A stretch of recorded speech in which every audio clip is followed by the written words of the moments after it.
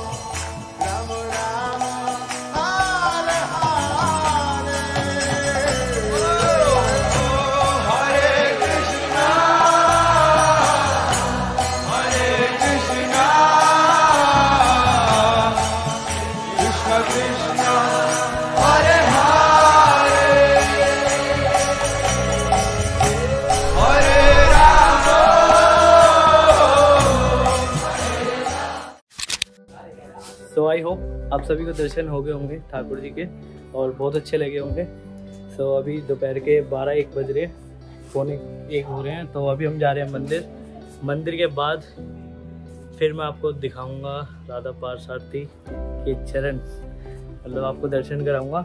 उससे पहले मैं अपनी ये गली से बाहर निकल रहा हूँ। फिर आपको आगे पता लग ही जाएगा। तो थोड़ा सस्पेंस बना रहना चाहिए।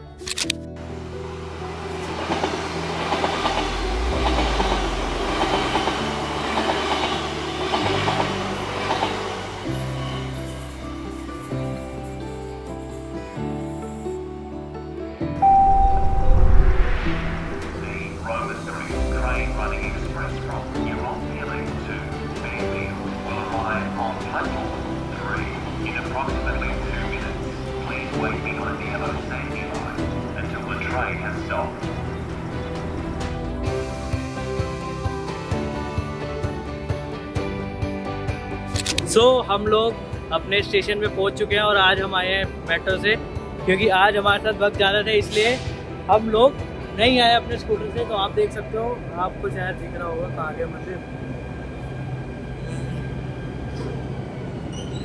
देखो वो रहा हमारा मंदिर तो हमें वहाँ जाना है। सो so, चलते हैं दर्शन कराते हैं। आपको भी तो कार्तिक के मंथ का मेरा यही शेड्यूल है और संडे जो होता है हमारा संडे होता है। यानी भक्तों का संडे। तो आपको मैं भी दर्शन कराता हूँ और खुद भी करूँगा। तो हमारे साथ भक्त भी आए हैं तीन चार, इसलिए मैं आज अपने स्कूटर से नहीं आया। तो जो संडे होता है, उसमें हमें भक्तों का संग ज़रूर करना चाहिए, भगवान के दर्शन करने चाहिए। मंदिर जाना चाहिए, क्योंकि मंदिर जाना भी बहुत ज़रूरी है। क्योंकि ये मन का दर है, यानी मन का अस्पताल। तन के अस्पताल हम सब जाते हैं। हमारा इस वक्त तन से ज़्यादा, मन ज़्यादा दुखी है और बीमार है। तो हमें अगर मन ठीक करना है तो हमें मंदिर ज़रूर जाना पड़ेगा। तो चलते हैं और मैं आपको दर्शन भी कराता हूँ और खुद भी करूँगा।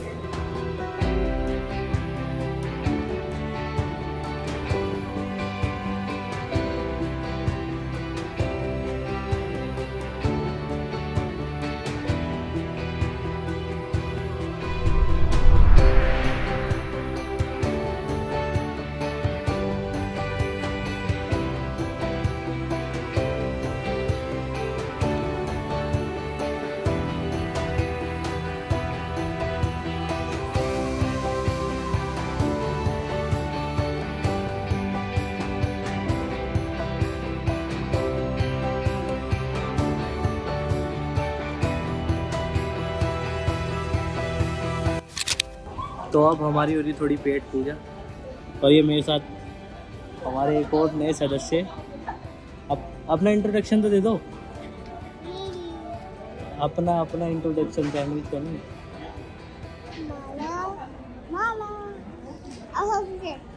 सो so, मैं ये प्रसाद पाकी आपको मिलता हूँ।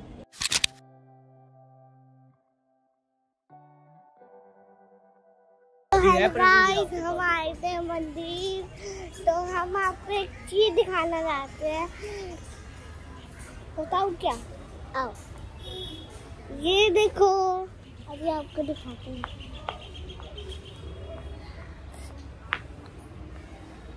ये देखो मोर पंख। एक आगे और एक पीछे है। बहुत ही मज़ा आता है। तो अभी देखना हरे कृष्णा तो ये देखो हरि बोल हरि बोल अब हम आपको एक चीज़ दिखाएँगे। ये देखो। और वो एक देखो। वहाँ वहाँ।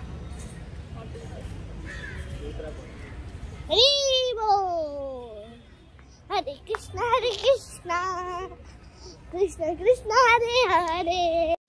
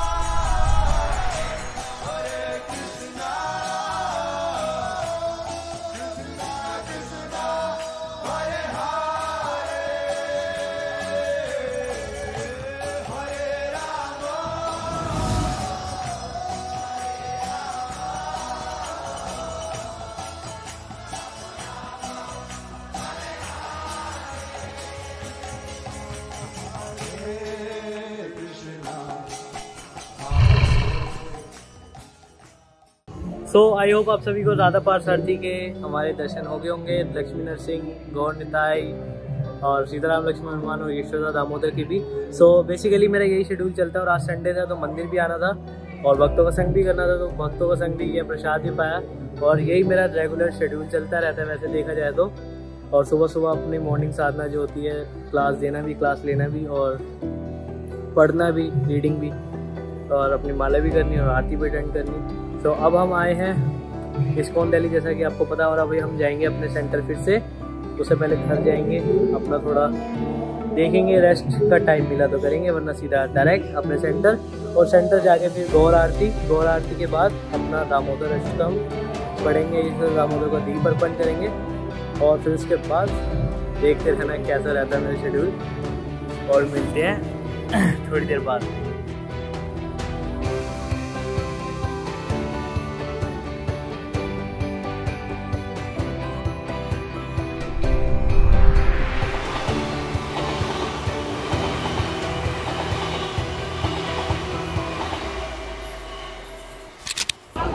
तो अब हम आगे अपने स्टेशन मेट्रो स्टेशन जहाँ उतरना था। और अब यहाँ से डायरेक्ट जाएँगे सेंटर अपने क्योंकि टाइम हो चुका है छः बज के पाँच मिनट सो इतना टाइम नहीं है कि मैं घर भी जाऊँ या थोड़ा सा रेस्ट लूँ। अब ये मत सोचना कि मैं थोड़ी हवाबाजी कर रहा हूँ। मैं सीरियसली बता रहा हूँ कि इतना भी टाइम नहीं है कि मैं जाके रेस्ट लूँ। क्योंकि सेंटर में सेवा करनी है। और चलते हैं फिर सेंटर और अपना गौर आरती अटेंड करते हैं और दामोदर अष्टम पढ़ेंगे और दीप अर्पण करेंगे। फिर उसके बाद मैं अपनी थोड़ी साधना कंप्लीट करूँगा, जो बची हुई है, अपनी हियरिंग थोड़ी करूँगा रीडिंग करूँगा। ओ फिर मिलते हैं आपको अपने सेंटर में।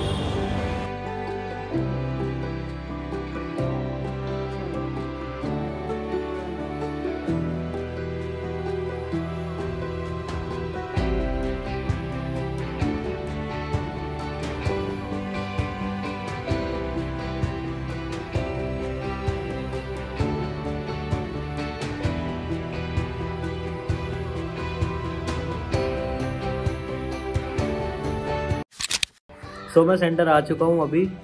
टाइम हो रहा है साढ़े आठ, यानी आठ पैंतीस ही लगा लो और मैं गौर आरती अटेंड नहीं कर पाया, इसलिए आपको दर्शन भी नहीं गए, इसलिए मैं दीपदान करा दामोदर अष्टकम पढ़ा क्योंकि मेरे को फ़ोन आया था कहीं कीर्तन है, वहाँ पे जाना था, और ज़रूरी था वहाँ जाना तो मैं पहले वहाँ गया डायरेक्ट मेट्रो स्टेशन से, फिर मैं अभी वहाँ से डायरेक्ट अपने यहाँ पे सेंटर में आऊँ फिर अभी मैं थोड़ा अपना दामोदर अष्टकम पढ़ लिया, हमने गोपी गीत पढ़ी, उसके बाद मैं आपको दिखाऊँगा अपना आगे का शेड्यूल तब तक के लिए देख लो, ऐसे मैं बिज़ी रहता हूँ।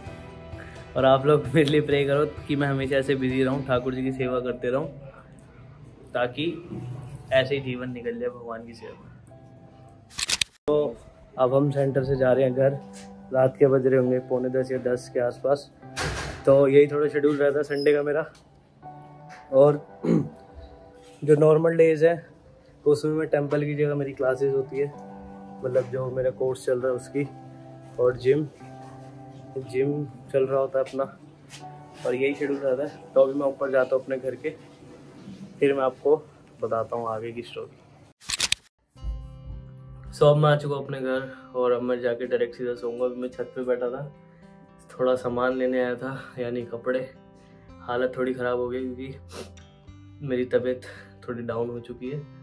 तो कार्तिक का यही मेरा नॉर्मल शेड्यूल है और देखा जाए तो बेसिकली मेरी स्टूडेंट लाइफ ही एक तरीके से और नॉर्मल डेज़ पे जैसे मैंने आपको बताया जिम होता है और क्लासेस होती है सो उसमें मेरा दिन का जो होता है फेस उसमें थोड़ा बिज़ी रहता है और सेवा में ज़्यादातर मेरा टाइम निकलता है तो आप लोग मेरे लिए यही प्रे कीजिएगा हमेशा कि मैं हमेशा हरि गुरु वैष्णव की सेवा में लगा रहूँ ऐसे ही और और ज़्यादा बिज़ी हो जाऊँ ताकि मेरे को सोने का भी समय ना मिले। ये दिल से बोली है मैंने बात। तो अब सोएँगे और मैंने सोचा था घर आके मैं रीडिंग करूँगा। थोड़ी तो रीडिंग करने की हिम्मत नहीं है तो जब हिम्मत ना हो तो प्रयास करना चाहिए, ऐसे मैंने अपने बड़ों से सुना है, अपने सीनियर वैष्णव से सुना है कि उस वक्त सो जाना चाहिए, क्यों? क्योंकि उस वक्त ना रीडिंग में ध्यान लगेगा, ना कहीं और तो सीधा झपकी आएगी। तो मैं सुबह रीडिंग करते ही वैसे भी। रात को अभी नहीं कर पाऊँगा तो संडे का आज बहुत ज़्यादा बिज़ी शेड्यूल था और कई कई जगह पे मैं इसलिए शॉट नहीं ले पाया क्योंकि मैं सेवा उस वक्त कर रहा था, मैं कैमरा उठा के नहीं शूट कर सकता था और ऐसा अच्छा भी नहीं लगता क्योंकि वहाँ पे मेरे से बड़े भी थे, मेरे से छोटे भी थे सो सबको अटेंड करना चाहिए। तो जो भी था यही था, मेरा कार्तिक का मंथ ऐसे ही बीत रहा है और कैंटीन भी अच्छी हो रही है, मंगला आरती मेरी डेली यही शेड्यूल रहता है और बस ये थोड़ा ज़्यादा एक्स्ट्रा बढ़ा दिया है। आप ऐसे कह सकते हो। मैंने सोचा था कि 75 हार्ड डे चैलेंज मैं भी करूँगा वन हंड्रेड इलेवन जो भी डेज़ चैलेंज होते हैं। फिर उस वक्त ये सोच के मेरे दिमाग में आया कि नहीं, ऐसा नहीं करते, क्योंकि नहीं करना चाहिए। मेरे को लग रहा था कि मेरे को नहीं करना चाहिए और ऐसा नहीं करते। क्योंकि उस वक्त मैं शायद सोशल मीडिया के लिए ही करता वो अपना कंप्लीट चैलेंज करना चाहिए था, क्योंकि वो एक तरीके से मेरी लाइफ में पॉजिटिव इम्पैक्ट भी डालता है। क्योंकि हम भगवान के लिए जो भी करते हैं हियरिंग रीडिंग चैंटिंग चाहे मैं भले ही सोशल मीडिया को दिखाने के लिए करता, लेकिन वो उतना ही मेरी लाइफ में इफ़ेक्ट डालता। सो मैंने सोचा था कि मेरी जो माइंड की इंटेंशन थी कि अगर मैं करूँगा तो सिर्फ़ मेरा माइंड उसमें ही लगा रहेगा कि सोशल मीडिया के लिए करना है सोशल मीडिया के लिए करना है। अपने खुद के लिए मैं शायद वो नहीं करता उस वक्त। तो ये मेरा था तो मैंने सोचा कि एक दिन उठूँगा ऐसे ही और ब्लॉग बना दूँगा। कार्तिक का डे में मेरा कैसे शेड्यूल चल रहा है, कैसा नहीं तो ऐसे ही चल रहा है। आप देख सकते हो। और मैं नीचे इसलिए नहीं बनाया क्योंकि हमारा थोड़ा एक ही कमरा है। तो उसमें मैं नहीं शूट कर सकता था तो मैं छत पे भी आया। मैं सोचा छत पे आराम से आके बैठ के आपसे बात करूँगा और ब्लॉग बनाऊँगा। और हाँ एक चीज़ मेरे को ज़रूर बता देना कि अगर आपको डेली का चाहिए, जो देखते हैं सौ, दो सौ लोग, अस्सी लोग, उनके लिए, वो मेरे अपने हैं। अगर वो देखते हैं और वो चाहते हैं, सौ, दो सौ, अस्सी जितने भी लोग हैं, कि मैं अपना रेगुलर डे का भी एक दिन बनाऊँ, जिसमें भी क्लास होती है जिम वगैरह होते हैं, और कैसे मेरा चलता है उसमें नॉर्मल डे भी, ये तो संडे था, यानी संडे तो मंदिर ज़रूर जाना था होपफुली मैं सेंटर डेली जाता हूँ और सेवा भी करता हूँ। तो नॉर्मल डेज़ का अगर आप चाहते हो तो मेरे को ज़रूर ज़रूर ज़रूर कमेंट में बताना, और मैं आपके कमेंट में वेट कर रहा हूँ, और तब तक के लिए सपोर्ट करते रहो, कि मैं ऐसे प्रीचिंग करता ही रहूँ, करता ही रहूँ, करता ही रहूँ और एक दिन प्रभुपाद को सर्व करूँ, गुरुदेव को सर्व करूँ, अपने हरि गुरु वैष्णव की सेवा में हमेशा लगा रहूँ। तब तक के लिए आप भी सो जाइए, अगर रात को देख रहे हैं और दिन में देख रहे हैं तो अपना ये देख के काम चालू करना। तो तब तक के लिए जय Hare Krishna and be happy Hari बोल।